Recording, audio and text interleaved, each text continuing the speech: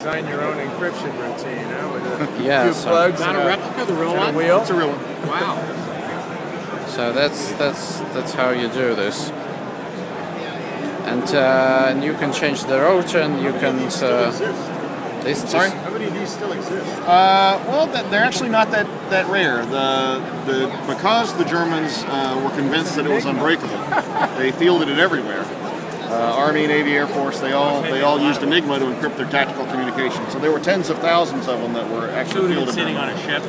Huh? We've been sitting on a ship. Yep. Yeah. Yep. Ships, submarines, airplanes. they- So they you change the rotors, you change the relative position, you change the place, Yep. you put it out, you change the front uh, Plug the front right. settings, and after that you can start coding.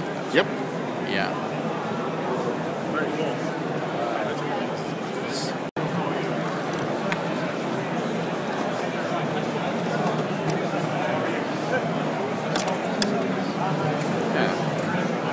So now it works. So and as you can put, it doesn't light up much. Oh yeah, okay.